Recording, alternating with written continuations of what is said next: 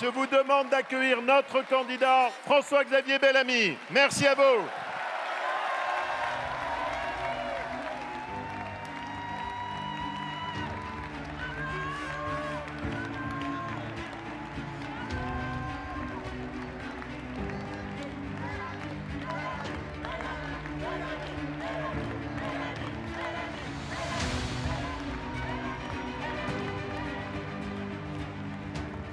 Chers amis, merci infiniment. Merci infiniment.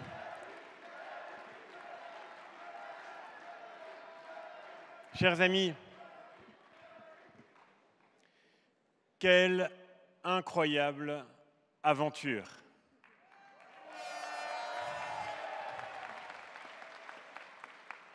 Et que de chemin parcouru qui nous a conduits jusqu'à ce soir ici à Paris. Que de chemin parcouru pour que vous soyez tous réunis. Et c'est votre présence ce soir qui est le plus grand signe de cet espoir dont Laurent vient de nous parler, le grand signe de cet espoir en train de se lever. Nous sommes ici nombreux, dans un débat que pourtant tout le monde disait jouer d'avance, dans une élection que tout le monde nous prédisait perdue d'avance. Vous êtes ici. Et c'est le signe que tout commence. C'est le signe que tout commence ce soir pour les dix jours qui viennent et pour les années qui viendront.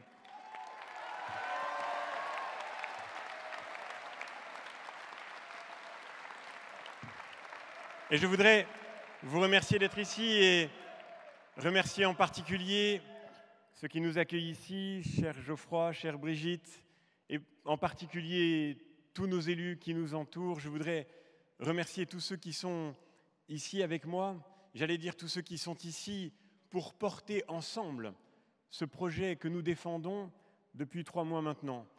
Et je voudrais commencer par dire, je l'ai déjà fait plusieurs fois, mais enfin il faut le dire encore et le dire avec vous ce soir.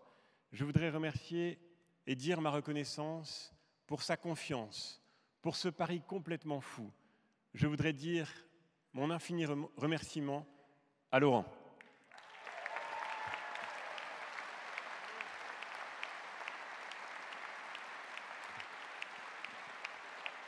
Laurent, tu as fait un choix improbable.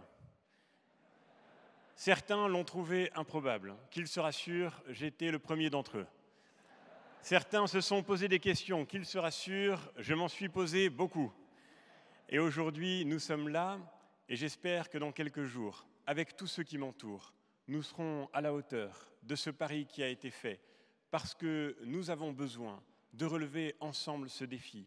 Nous en avons besoin pour notre famille politique, pour la droite et pour le centre. Cher Hervé, merci d'être là. Merci d'être avec nous depuis le début de cette campagne.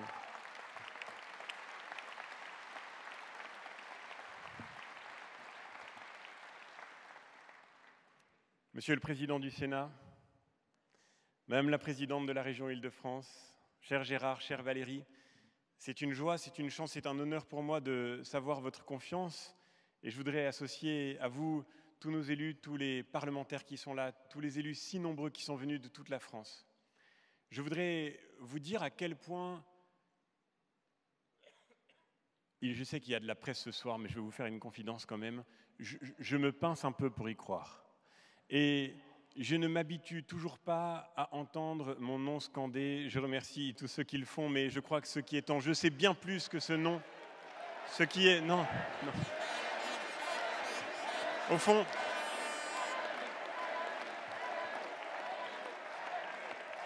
au fond, rassure-toi, rassure-toi, cher Hervé, je suis bien loin de croire à tous les éloges qui me sont faits. Et je sais que ce qui compte maintenant pour moi, je le dis avec un peu de gravité, c'est devant l'ampleur de cet élan qui se manifeste partout en France. Ce qui est le plus important pour moi, c'est de pouvoir, demain, au cours des années qui viendront, et avec tous ceux qui m'entourent. Méritez votre confiance. Je ne l'ai pas encore méritée, il faut la mériter demain. Et je sais, et je sais que, au fond, il y avait quelque chose d'excessif dans la disproportion des attaques que j'ai pu subir au début, quelque chose qui faisait que quand j'entendais parler de moi dans la presse, j'avais du mal à me reconnaître.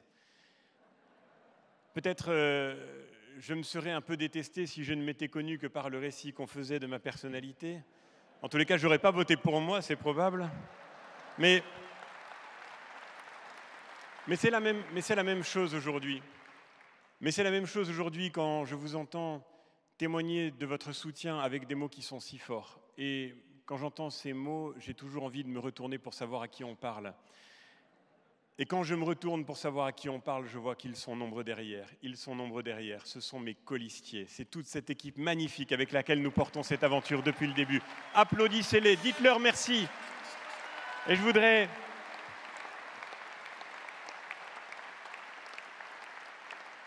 Et je voudrais remercier tout particulièrement Agnès et Arnaud, avec lesquels depuis trois mois maintenant nous sillonnons la France. Nous serons encore demain matin à 7 heures dans le TGV pour continuer notre travail, pour aller continuer de parler partout, de tenter de susciter la confiance. Vous savez, la politique a beaucoup perdu son sens, elle s'est beaucoup abîmée quand elle est devenue la compétition d'individualités qui ne cherchaient que leur intérêt. Eh bien, moi, je peux vous en témoigner depuis le début de cette campagne. La politique c'est aussi, et il faut le dire, parfois, de grandes histoires d'amitié. Et c'est ce qui s'est noué entre nous, chère Agnès, cher Arnaud, c'est ce que j'ai appris de vous qui fait la force de ce que nous portons ensemble. Et si parfois, dans les médias, vous m'avez trouvé convaincant, c'est que j'étais seulement en train de dire ce qu'Arnaud et Agnès m'avaient appris. Je leur dois tant, et je voudrais leur dire merci.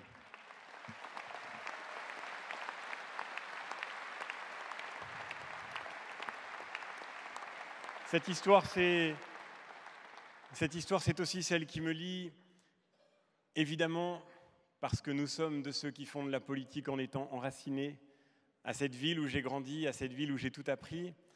Et nous sommes ce soir dans la région Île-de-France, chère Valérie. Alors, euh, j'ai demandé, et c'était un choix qui l'a peut-être étonné, mais je le remercie d'avoir accepté. J'ai demandé à François s'il accepterait de prendre la parole. François, je voudrais te dire ce soir tout ce que je te dois. Tu m'as appris que la politique n'était pas seulement une affaire d'idées, mais la rencontre avec la complexité du réel. Tu m'as appris que la politique n'était pas seulement une affaire de déclamation, mais qu'elle se mesurait d'abord au service qu'elle rend à ceux qui sont sur le terrain, les plus fragiles dans une société. Tu m'as appris que la politique est forte quand elle s'inscrit dans une histoire pour se projeter vers l'avenir. Et je te dois, au fond, ce que j'essaye de porter humblement dans cette campagne en tentant d'être fidèle à ce que j'ai reçu de toi. Merci François. Je voudrais remercier tous les amis de Versailles qui sont ici ce soir. Merci infiniment.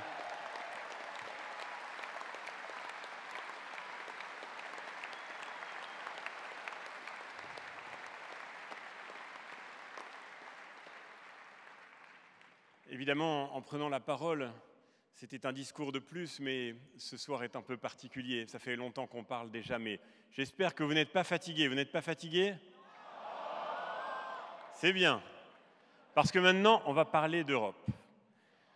On va parler de cette Europe et de la croisée des chemins à laquelle nous nous trouvons. Nous sommes à un point de bifurcation, comme rarement dans notre histoire à un point de bifurcation pour l'aventure de l'Europe. Depuis le début de cette campagne, je le vois partout, tous les jours, partout en France. Je l'entends monter, cette défiance. Cette défiance envers l'Union européenne. Cette défiance envers la politique aussi, disons-le. Cette défiance envers les élus, cette défiance envers la démocratie. Et je n'oublierai jamais tous ces témoignages que j'ai entendus.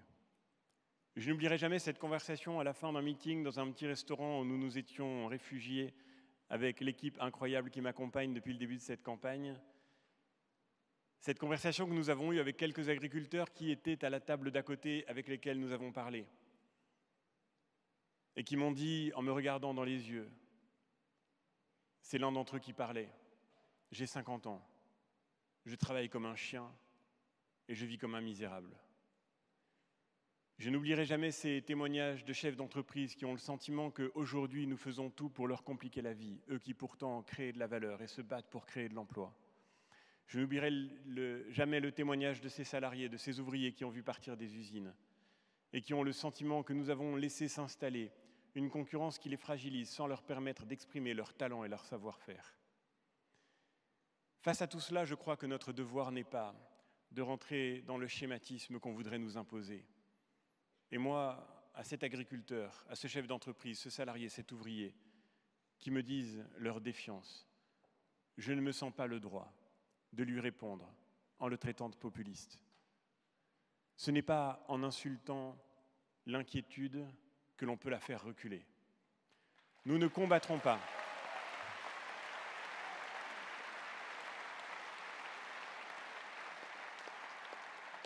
Nous ne combattrons pas cette défiance seulement en créant des anathèmes, en créant des fractures, en opposant ceux qui voudraient continuer d'aller de l'avant dans un déni de réalité et ceux qui voudraient revenir en arrière. La politique mérite tellement mieux.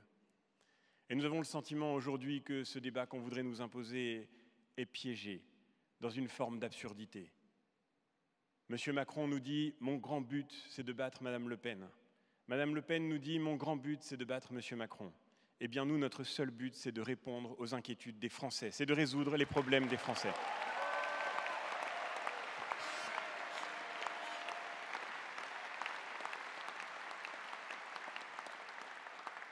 Emmanuel Macron est, allé en Roumanie et en Roumanie, il a dit Je vais m'engager à fond dans cette campagne. Moi, je mets toute mon énergie pour battre Marine Le Pen. Monsieur le Président, on aurait tellement aimé que vous mettiez toute votre énergie pour faire baisser la dette de la France, pour relancer l'attractivité, pour relancer la compétitivité, pour résoudre la crise terroriste, pour maîtriser nos frontières.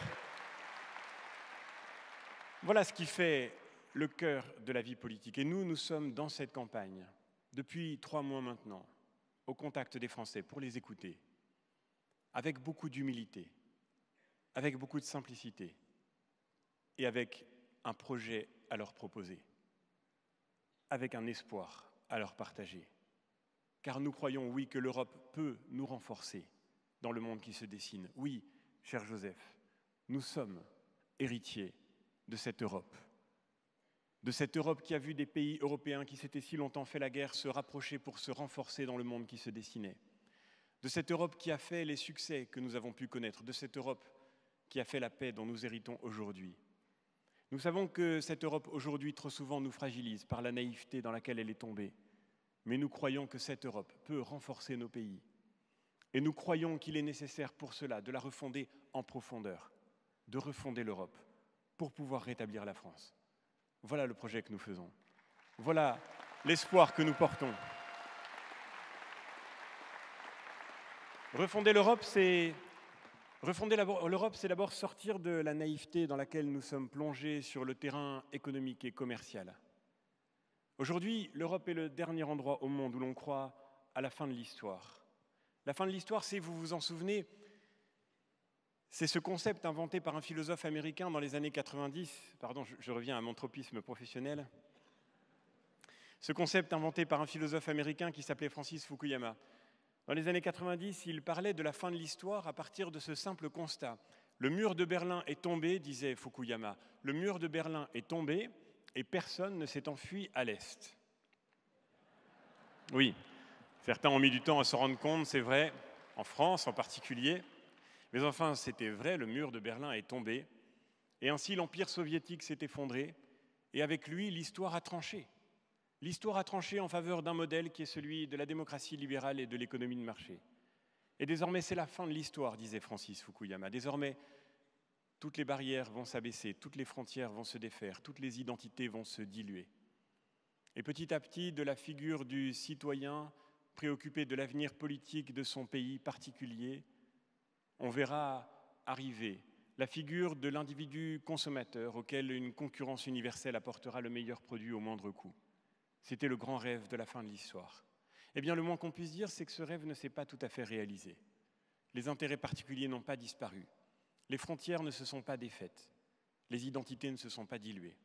Et nous voyons que dans le monde, partout s'exercent des pressions fortes, partout des stratégies affirmées. Les États-Unis ont une affirmation très forte de leurs intérêts économiques et commerciaux. La Chine a une politique très agressive sur le plan industriel. Et nous, nous, avons une doctrine de la concurrence, parce que nous en sommes restés à cette configuration, apporter le meilleur produit au moindre coût pour le consommateur. Il faut sortir de cette naïveté. Le saviez-vous en Europe 20% du PIB est constitué des marchés publics. Et sur ces 20% de PIB constitués par les marchés publics, 95% sont ouverts aux acteurs internationaux. Nous sommes les seuls au monde à avoir cette ouverture. Les Américains n'ouvrent leur marché qu'à 30%, les Chinois à 0%, la Russie à 0%. Comment est-il possible Comment accepter plus longtemps qu'une entreprise chinoise puisse venir prendre un marché public en France et faire du profit en France, alors que jamais une entreprise française ne pourra prendre un marché public en Chine, même la plus compétitive, même la plus exceptionnelle. Comment accepter que les règles soient faussées? Nous, mes chers amis, nous sommes d'une famille qui croit à la liberté. Nous croyons à la liberté, nous croyons à la force de cette liberté créatrice, nous croyons à la fécondité des échanges. Nous ne croyons pas qu'il faut nous résigner à ne plus être compétitifs et comme d'autres, nous ne croyons pas qu'il faille s'enfermer entre quatre murs pour mourir à petit feu pendant que le monde continue d'avancer.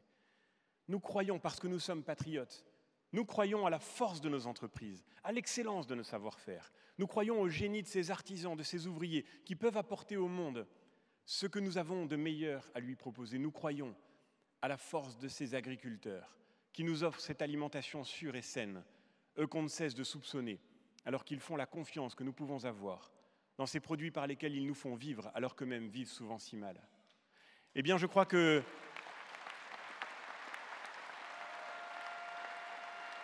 À tous ceux qui travaillent dans notre pays, à tous ceux qui entreprennent, nous devons d'offrir les règles saines d'une compétition équitable. Nous croyons à la force de cette France qui peut rayonner. Mais la meilleure équipe du monde, si elle entre sur un terrain qui n'est pas plat et dans lequel l'arbitre a été précédemment corrompu, la meilleure équipe du monde ne peut que perdre la partie. Nous croyons à la compétition, nous croyons à la liberté, mais nous voulons que les règles soient les mêmes pour tous. Et nous voulons enfin pouvoir assurer une stricte réciprocité. Et nous voulons dire à toutes les grandes puissances du monde, venez commercer avec nous, venez échanger avec nous, mais à condition que les règles soient les mêmes pour tous. Et il est temps, il est temps de sortir de cette naïveté. Et il est temps de faire en sorte de construire une Europe qui assume enfin de défendre nos entreprises et nos emplois, qui assume enfin de défendre nos agriculteurs, qui assume enfin de choisir, de définir une vraie stratégie d'avenir, plutôt que de se laisser piéger par une simple doctrine de la concurrence, par des normes et par des règles qui asphyxient, qui paralysent plutôt qu'elles ne stimulent ceux qui agissent, qui créent, qui entreprennent et qui cultivent. Voilà le défi qui est devant nous. Et ce défi, et ce défi, il est nécessaire pour redonner un équilibre à la mondialisation. Ce défi, il est nécessaire pour remporter le grand défi qui est devant nous, celui de la préservation de notre environnement, celui qui consistera à retrouver, pour la nature dont nous héritons, cet équilibre dont elle a besoin. Car qu'est-ce qui crée la crise environnementale? Nous ne la résoudrons pas si nous n'allons pas d'abord à la cause. Certains cherchent absolument à s'illustrer sur ce terrain, alors ils en font le premier chapitre de leur programme et ils déclinent des solutions qui sont au fond pas si nouvelles. Je pense par exemple au projet de la République en marche. Le saviez-vous, le projet de la République en marche commence par euh, une mesure qui paraît forte, mais qui finalement nous rappelle que la gauche n'a pas tout à fait disparu. Cette mesure consiste à créer une banque européenne du climat. Grande crise, grand problème, mais tout problème a une solution. Cette solution, c'est une dépense. Donc, grande crise, grande dépense. Et le principe de la Banque européenne du climat, c'est que le climat va très mal, alors il faut dépenser 1000 milliards d'euros. On ne sait pas encore pourquoi, mais ce qui compte, c'est la dépense. Au fond,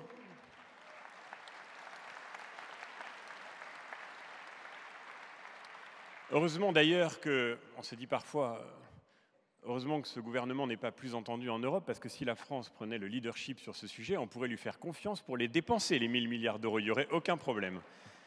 Mais on le voit bien, au fond, il y a derrière tout cela un manque de sérieux, un manque de prise en compte de ce qui fait la cause de cette crise écologique que nous déplorons ensemble.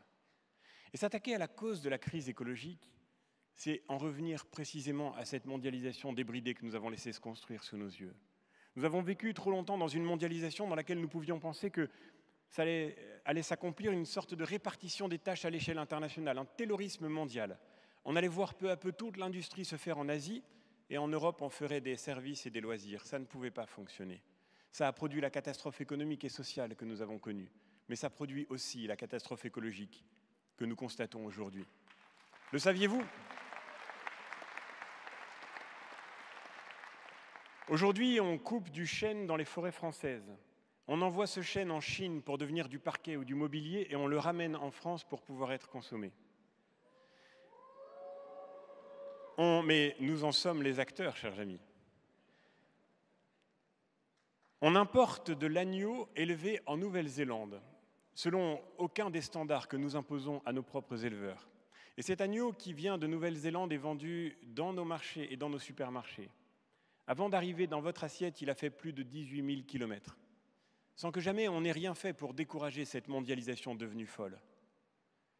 Tous ces produits qui viennent chez nous et qui ont traversé la planète avant d'arriver chez nous n'ont jamais été freinés dans leur circulation perpétuelle. Et ensuite, on va expliquer au salarié français qui a besoin de sa voiture pour faire 10 km pour aller travailler que c'est lui qui est responsable de la crise écologique, que c'est lui qui est responsable de la crise climatique.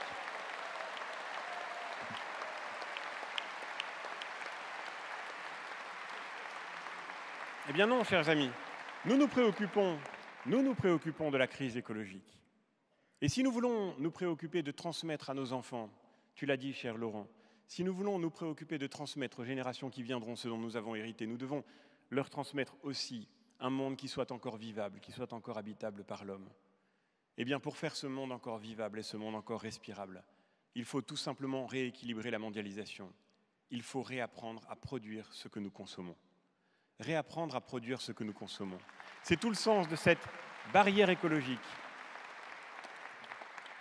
C'est tout le sens de cette barrière écologique que nous voulons placer aux frontières extérieures de l'Europe, pour faire en sorte d'abord que jamais nous n'autorisions à importer ce que nous nous interdisons de produire, pour que jamais nous ne créions cette concurrence déloyale qui fragilise ceux qui travaillent en Europe, ceux qui produisent en Europe, et pour faire en sorte qu'effectivement nous puissions redonner de l'oxygène à nos entreprises et à nos emplois, rééquilibrer la mondialisation. C'est aussi ce dont nous avons besoin dans la crise migratoire qui se dessine si nous ne savons pas remédier à notre impuissance. La crise migratoire, chers amis, elle n'est pas passée. Elle n'est pas, comme le voudraient certains commentateurs, certains observateurs, certains contradicteurs, elle n'est pas de 2015, la crise migratoire. La crise migratoire, elle est devant nous. La crise migratoire, elle n'a pas encore commencé. L'explosion de la démographie du continent africain représente l'un des défis majeurs de notre avenir. Et si nous ne savons pas mettre fin à notre impuissance, si nous ne savons pas maîtriser nos frontières, alors nous allons continuer de produire du malheur à grande échelle. Malheur pour nos sociétés qui sont déjà profondément fracturées par une immigration que nous n'avons pas su intégrer et accueillir comme il l'aurait fallu. Malheur aussi pour tous ces jeunes, tu l'as dit, cher Laurent, pour tous ces jeunes venus d'Afrique, auxquels des passeurs sans scrupules tendent le miroir aux alouettes d'un Eldorado qu'ils ne trouveront pas s'ils arrivent en mettant le pied en Europe. On nous fait de grandes leçons de morale, on nous parle de générosité et d'accueil. Mais à tous ceux qui nous parlent de générosité et d'accueil, je voudrais leur proposer, chère Valérie, de venir porte de la chapelle. Je voudrais leur proposer de venir à Calais, où nous étions il y a quelques jours, et qu'on nous dise si ça ressemble à l'accueil, si ça ressemble à la générosité.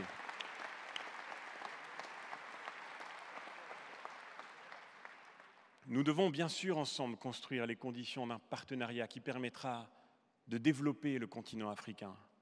Parce que l'avenir des jeunes d'Afrique, il est dans le développement de ces pays et non pas dans le cynisme et dans l'impuissance qui contribuerait à leur faire croire que nous allons pouvoir les accueillir et leur offrir cet avenir qu'ils espèrent quand ils ne trouvent qu'une impasse. Oui, il y a un principe simple. Nous devons maîtriser nos frontières. Nous devons faire en sorte qu'on ne puisse s'établir en Europe que si on a été autorisé préalablement à entrer en Europe. Et si nous n'arrivons pas à établir ce principe, tant que nous n'arriverons pas à établir ce principe, il y aura toujours des drames en mer Méditerranée. Le jour où il sera parfaitement certain qu'on ne peut rentrer et rester en Europe que si on y a été d'abord autorisé, il n'y aura plus un seul mort en mer Méditerranée.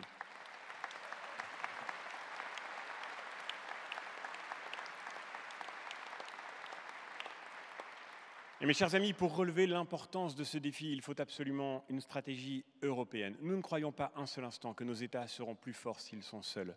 Nous ne croyons pas, contrairement au Rassemblement national, que nous serons mieux capables de faire face à l'ampleur de ce défi si nous détruisons la coopération européenne. Le Rassemblement national, cher Arnaud, tu me l'as longtemps redit, a voté contre tout ce qui pouvait permettre de renforcer l'Europe face à l'ampleur de cette tâche. Le Rassemblement, le Rassemblement, national a voté contre l'établissement de contrôles systématiques à l'entrée dans l'espace Schengen, a voté contre le renforcement de Frontex, cette agence qui lutte contre l'immigration illégale en Europe. Le Rassemblement national a voté contre le fichier qui permet de connaître ceux qui volent dans le ciel européen, cher Frédéric, et qui permet de garantir notre sécurité. Parce que c'était européen. Nous ne sommes pas de ceux qui, par idéologie, sont prêts à desservir les intérêts de la France parce qu'une force supplémentaire peut lui venir de l'Europe. Nous sommes de ceux qui croient qu'il faut être efficace ensemble et que partout où, selon ce principe de subsidiarité qui a fait l'Europe, Partout où nous pourrons être plus efficaces ensemble, alors il faut agir ensemble. Et nous proposons le principe d'une double frontière, défendre ensemble les frontières extérieures de l'Europe, faire en sorte qu'effectivement nous puissions garantir que les demandes d'asile et d'entrée sur le territoire européen soient faites en dehors du territoire de l'Europe, et défendre simultanément le principe que chaque pays doit pouvoir garder la maîtrise de sa politique migratoire. Parce que nous ne croyons pas, contrairement à M. Macron, que l'Europe doit consister à gérer notre impuissance. L'Europe de M. Macron, c'est celle qui voudrait imposer à chaque État des quotas de migrants. Celle qui considère, comme le disait Mme Belloubet récemment, qu'on n'arrête pas les flux migratoires, qu'on ne peut que se les répartir. Eh bien, nous nous disons qu'il ne s'agit pas de gérer cette impuissance qui cause encore une fois tant de drames et tant de malheurs, que la seule politique qui vaille, elle consiste à mettre fin à notre impuissance. Nous croyons à l'accueil, nous croyons à la générosité, nous voulons pouvoir accueillir mais nous ne voulons pas subir. Nous voulons pouvoir ouvrir la porte à celui qui demande notre aide et qui a besoin de notre aide. Mais il est totalement différent d'ouvrir la porte à celui qui a besoin de votre aide et le fait de ne plus avoir de porte parce que vous n'avez plus de mur. Nous voulons pouvoir accueillir. Et c'est notre devoir pour l'avenir. C'est notre responsabilité parce qu'à la fin, ce qui est en jeu, c'est aussi l'équilibre de nos sociétés, de ces sociétés dont nous voyons qu'elles sont en train de devenir une juxtaposition de communautés. Jérôme Fourquet a écrit un livre que je ne cesse de recommander, L'archipel français, dans lequel il montre que la France est en train de devenir cet archipel de communautés qui s'éloignent les unes des autres, qui s'isolent les unes des autres, qui ne se reconnaissent plus de liens. Nous devons absolument relever, là aussi, ce défi fondamentale qu'est l'unité de notre pays si nous ne voulons pas que notre impuissance d'aujourd'hui ne soit le ferment des conflits de demain. L'Europe, l'Europe c'est la paix, dit-on souvent. L'Europe c'est la paix que nous devons à nos aînés. Mais cette paix est un miracle fragile. Et nous le voyons bien, évidemment, il n'est plus question aujourd'hui de déclarer la guerre à l'Allemagne, mais la guerre ressurgit sous d'autres formes lorsque des innocents sont tués à la terrasse des cafés, dans des salles de concert, lorsque des personnes doivent vivre sous protection militaire quand elles vont pratiquer leur culte parce qu'elles sont de confession juive, alors il y a bien évidemment le spectre de la guerre qui ressurgit. Et nous devons y faire face, non pas pour le déplorer, mais pour montrer le courage qui a été celui de nos aînés et pour faire en sorte d'agir. Et face à ce défi du terrorisme, face à ce défi de l'islam radical, il faudra bien sûr des réponses policières, il faudra bien sûr des réponses judiciaires, elles sont au cœur de notre projet. Mais disons-le très simplement, face à ce grand défi, la bataille ne sera gagnée que si nous sommes capables de dire de nouveau qui nous sommes, que si nous sommes capables de partager de nouveau une culture commune, d'offrir de nouveau une civilisation en partage. Le défi ne sera remporté que sur ce grand, ce premier, ce décisif champ de bataille, qui est celui de l'éducation, de la culture, de la transmission. Aujourd'hui,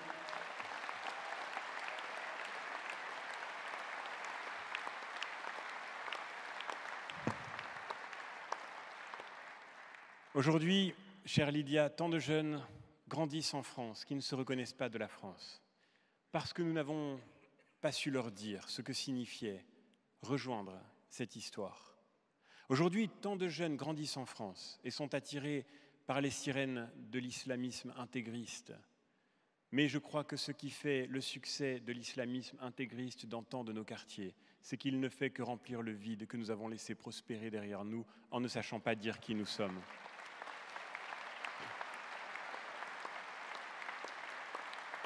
Et tout ce dont, nous avons parlé ce soir se résume finalement en une seule affirmation, une seule affirmation simple. Il faut retrouver le sens de ce qu'est l'Europe. Il faut refonder l'Europe, c'est-à-dire la reposer sur ses fondations. L'Europe, ce ne sont pas d'abord des administrations. L'Europe, ce ne sont même pas d'abord des traités. L'Europe, ce n'est pas d'abord un projet. L'Europe, c'est une civilisation. Et cette civilisation,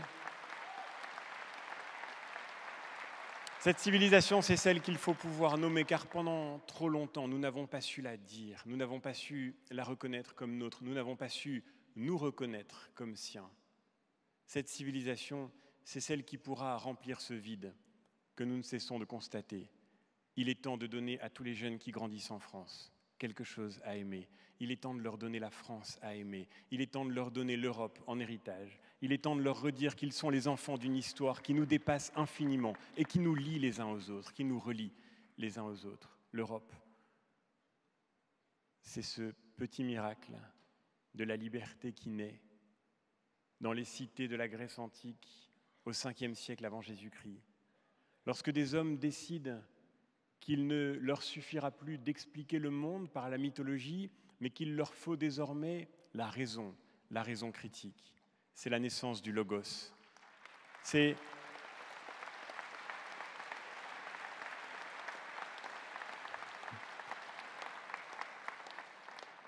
la naissance du logos qui devient dialogos, de cette pensée logique qui devient dialogue, qui devient délibération, qui devient démocratie, lorsque nous décidons que c'est ensemble que nous parlerons de l'avenir que nous voulons pour pouvoir écrire notre histoire plutôt que de la subir. Et à chaque fois que nous entretenons cet héritage immémorial dans l'hémicycle de l'Assemblée ou du Sénat, comme dans le plus humble des conseils municipaux, nous sommes les enfants de ces Grecs qui ont inventé la liberté à travers la raison naissante. L'Europe.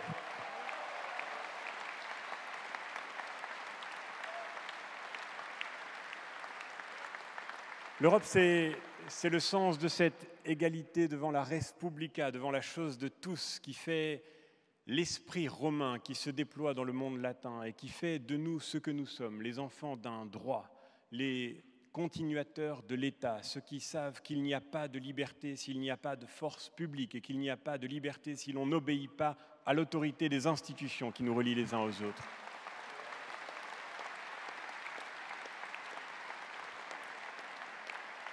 Et puis l'Europe, c'est bien sûr, pourquoi ne pas le dire et pourquoi avoir tant tardé à le dire, pourquoi avoir eu tant de peine à le nommer? L'Europe, c'est l'aventure de cette civilisation chrétienne, nourrie d'une tradition ancrée dans l'héritage de la civilisation qui nous venait du peuple juif.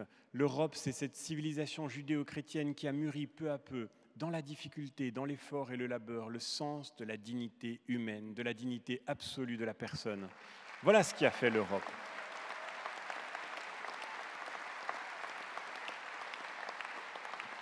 Et on n'a pas besoin d'être chrétien aujourd'hui pour savoir, comme tu le disais Laurent, que quand Notre-Dame de Paris brûle, nous sommes tous touchés au plus profond de nous-mêmes. J'ai été rencontré quelques jours après l'incendie le général qui commande la brigade des sapeurs-pompiers de Paris. Il ne m'en voudra pas, j'espère, de faire état de cette conversation. J'ai été lui dire simplement l'immense reconnaissance que nous devons à tous les hommes qu'il commandait ce soir-là lorsque la cathédrale Notre-Dame de Paris a été sauvée pour les générations à venir. Et nous parlions ensemble de cette expérience inouïe. Il me racontait que dans la nuit, au moment où les flammes menaçaient d'atteindre les tours, une décision difficile avait dû être prise. La décision d'envoyer des hommes monter dans ces tours. D'envoyer des hommes monter dans ces tours pour tenter d'éteindre le feu qui menaçait d'atteindre les cloches et qui aurait fait s'effondrer la totalité de l'édifice. Ces hommes sont montés dans ces tours comme d'autres pompiers en leur temps dans les tours de New York. Non pas pour sauver des vies humaines, aucune vie humaine n'était en jeu. Ils sont montés dans ces tours pour aller sauver des pierres. Aucun d'entre eux n'a hésité, aucun d'entre eux n'a reculé. Ces hommes sont montés dans ces tours et ils ont risqué leur vie. Et ces applaudissements sont pour eux.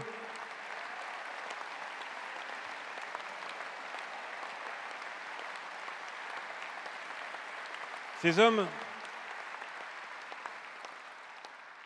ces hommes sont montés dans ces tours et ils ont risqué leur vie pour ces pierres, parce que ces pierres sont quelque chose de notre vie, de la vie de notre société, de la vie de notre pays, de la vie d'une civilisation qui veut se transmettre pour pouvoir continuer de relier les hommes et les femmes qui s'en nourriront demain.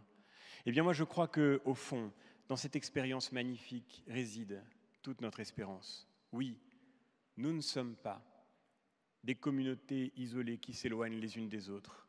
On n'a pas besoin d'être chrétien pour se savoir lié par cet héritage commun. J'ai été tellement touché que toutes les familles politiques, que tous les Français, quels qu'ils soient, aient exprimé leur émotion, aient eu le cœur retourné au même instant, au même moment, devant cette cathédrale qui brûlait. Il faut que nous ayons la même émotion, la même inquiétude et la même espérance devant cette civilisation dont nous sommes les héritiers, cette histoire si belle, si grande et si menacée aujourd'hui. Si menacée par ses ennemis de l'extérieur, nous en parlions ensemble. Nous en avons longtemps parlé tout au long de cette campagne. Mais si menacée surtout d'abord par nos propres faiblesses, par nos propres démissions, par nos effondrements intérieurs. Oui, c'est vrai, au fond, nous avons renoncé à dire qui nous sommes. Et lorsque je vous parlais de ce marché que l'Europe est aujourd'hui, de ce marché qui devrait être une force dans la mondialisation, mais qui semble n'être parfois qu'une proie, eh bien, nous parlons aussi peut-être un peu de cette faiblesse que nous avons laissée poindre dans nos esprits et dans nos cœurs. Nous avons voulu devenir une société d'individus consommateurs, additionnés les uns aux autres et poursuivant chacun leurs propres calculs. On a voulu nous décrire comme étant seulement une juxtaposition d'individus qui ne cherchaient que leur intérêt. Mais nous sommes un pays, nous sommes une civilisation. Et ce que montraient ces sapeurs-pompiers, ce que montrent tous ceux qui s'engagent aujourd'hui pour dire leur solidarité, ce qu'ont montré d'une façon si grande et si forte, Cédric de Pierrepont et Alain Bertoncello, c'est que nous sommes liés les uns aux autres.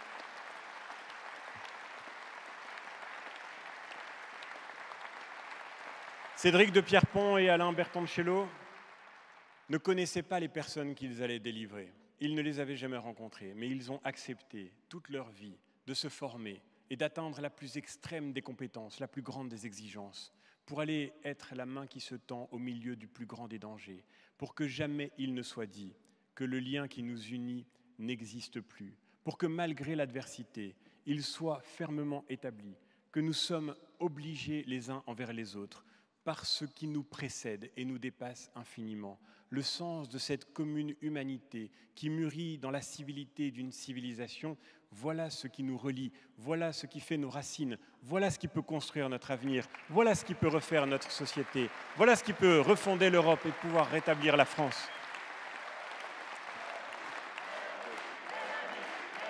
Oui, chers amis,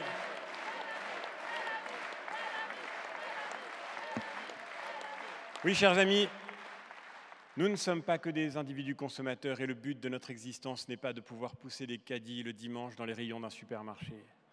Oui, chers amis, notre vie, notre vie passe par le travail parce que le travail n'est pas seulement pour nous l'occasion de gagner notre vie dans la pénibilité dont on nous parle trop souvent. Le travail est pour nous l'occasion de nous réaliser en produisant une œuvre commune qui pourra être féconde pour d'autres que nous. Oui, Oui, nous croyons, c'est vrai, qu'il ne faut pas donner dans notre vie la totalité de nos existences à ce qui se compte et se calcule. Oui, il y a des choses qui ne se marchandent pas. Oui, il y a des choses dont on ne fait pas commerce. Oui, on ne loue pas le ventre d'une femme. Oui.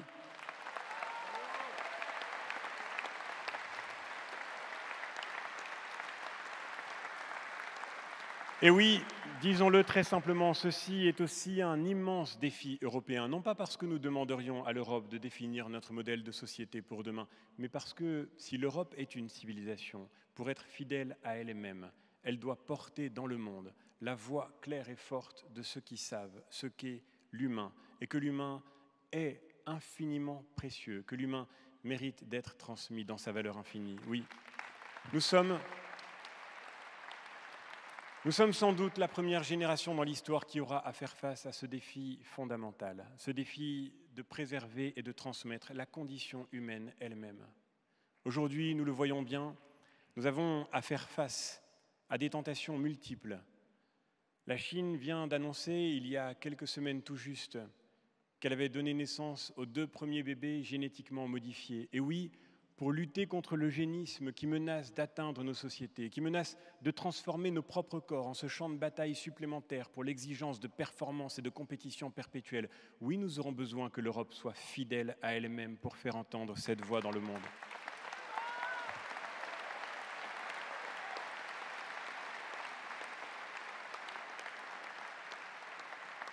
Et oui, nous aurons besoin que l'Europe puisse dire qu'effectivement, cette exigence de solidarité absolue qui fait que nous sommes capables de nous donner totalement pour la vie d'autrui lorsqu'elle est menacée, lorsqu'elle est fragilisée, oui, cette exigence, elle fait que nous regardons toute vie comme étant digne d'être vécue, même la vie malade, même la vie souffrante, même la vie vieillissante.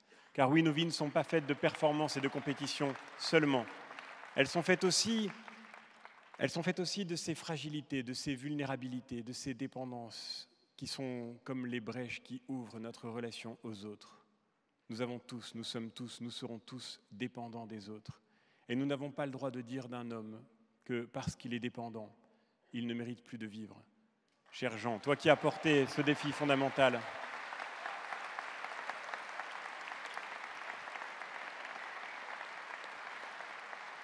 Voilà, chers amis, le défi qui est devant nous. Et voilà pourquoi nous n'avons pas le droit de laisser ce débat européen se réduire à ce jeu caricatural qu'on voudrait nous présenter. Nous n'en pouvons plus des élections tristes.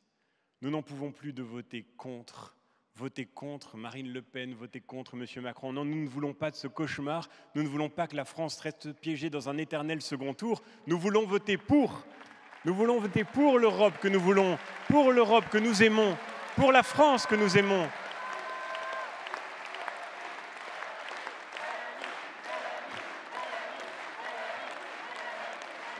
Alors ce soir,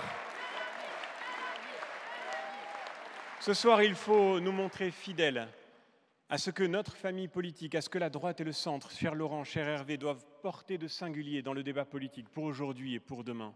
Oui, nous sommes de ceux qui n'ont pas renier leurs convictions. Et quand, monsieur le Premier ministre, vous vous en prenez, ne le huez pas, ne le huez pas. Non, nous, nous, voulons vivre le débat politique avec le sens de la contradiction claire et forte. Et il y en a une ici, c'est sûr. Il y en a une ici. Lorsqu'on insulte des gens, Lorsqu'on insulte une famille politique tout entière parce qu'elle n'a eu d'autre tort que de rester fidèle à ses convictions et à ses électeurs, alors je crois qu'on se discrédite.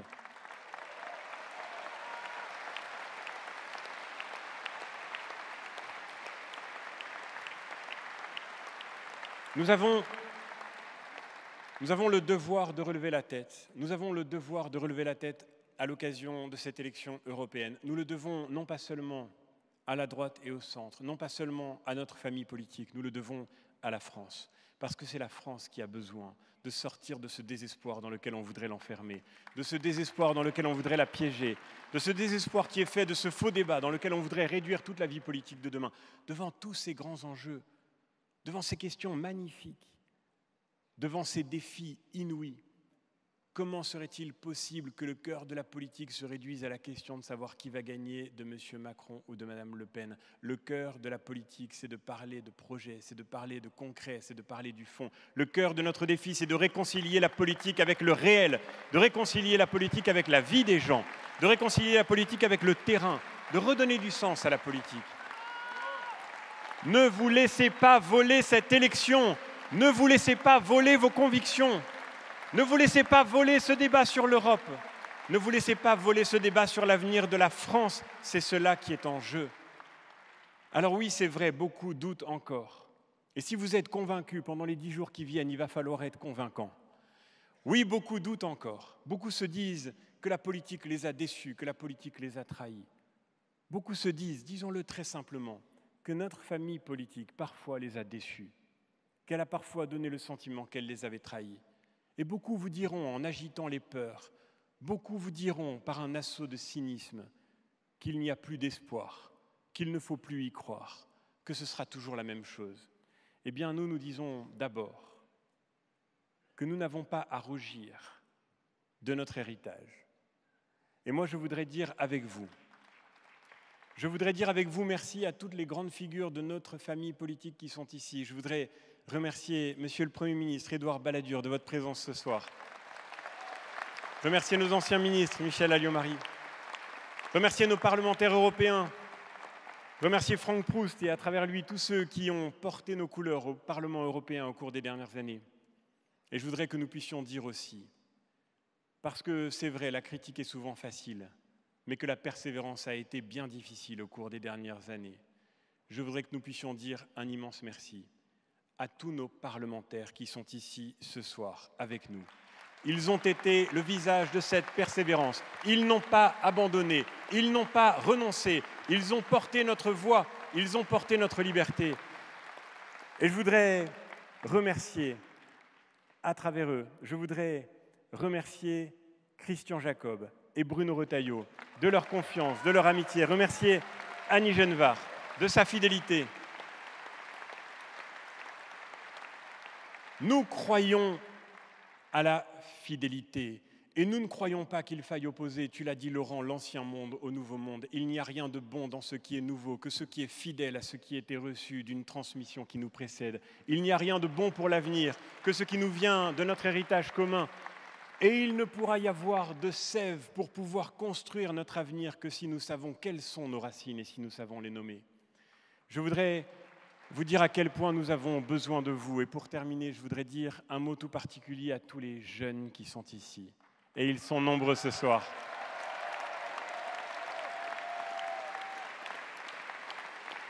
Me viennent, me viennent à l'esprit me viennent à l'esprit ces mots de Bernanos dans Le chemin de la croix des âmes. C'était au plus noir de la Seconde Guerre mondiale et Bernanos écrivait aux jeunes Français, jeunes Français, qui n'étiez hier encore que l'enfance de mon pays. Une crise sans précédent vous pousse désormais au premier rang. Amis, j'ai entrepris de vous parler comme à des hommes. Entre le désastre et nous, il n'y a plus que votre jeune honneur. Nous sommes les enfants d'une même défaite, mais vous seuls pouvez la regarder d'un regard innocent. Tenez bon, tenez ferme, soyez fidèles. Tenez bon, tenez ferme.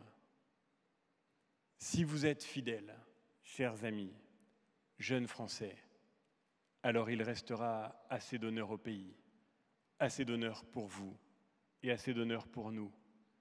Chers jeunes qui êtes ici ce soir, chers amis, nous avons besoin de vous pour reconstruire une famille politique qui puisse porter haut tout ce en quoi nous croyons, pour reconstruire cette famille politique qui a le sens de la transmission, pour reconstruire cette famille politique qui croit à la force de la France, mais qui croit que la force de la France suppose qu'elle se libère des freins qu'elle s'impose à elle-même, pour reconstruire cette famille politique qui mettra fin à la menace terroriste, pour reconstruire cette famille politique qui offrira demain un nouvel espoir à la France.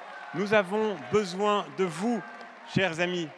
Nous sommes les enfants de cette histoire magnifique nous sommes les enfants de l'idéalisme de Platon, de la juste mesure d'Aristote. Nous sommes les enfants de Cicéron et de Marc Aurèle, cet empereur qui savait que chaque matin, c'est pour faire œuvre d'homme qu'on se réveille. Nous sommes les enfants des paysans qui ont défriché l'Europe. Nous sommes les enfants des chevaliers qui ont inventé le code de l'honneur. Nous sommes les enfants de cet héritage des Lumières qui a développé la raison critique. Nous sommes les enfants de ceux de 14 et des résistants de 40 qui ont fait notre liberté d'aujourd'hui au prix de leur vie. Nous devons nous montrer à la hauteur de cette histoire et nous serons à la hauteur de cette histoire. Et c'est exactement ce qui se joue dans les dix jours qui viennent. Je voudrais, dans les années qui viendront, avec tous mes colistiers au Parlement européen, pouvoir être votre voix. Mais pendant les dix jours qui viennent, il faut que vous soyez notre voix, car vous seul pouvez faire cette victoire dont nous avons tellement besoin. Vous seul. Vous n'êtes pas venu écouter, vous êtes venu agir. Vous n'êtes pas venu écouter, vous êtes venu vous engager. Et dans dix jours, cette victoire sera la vôtre pour refonder l'Europe et pour rétablir la France.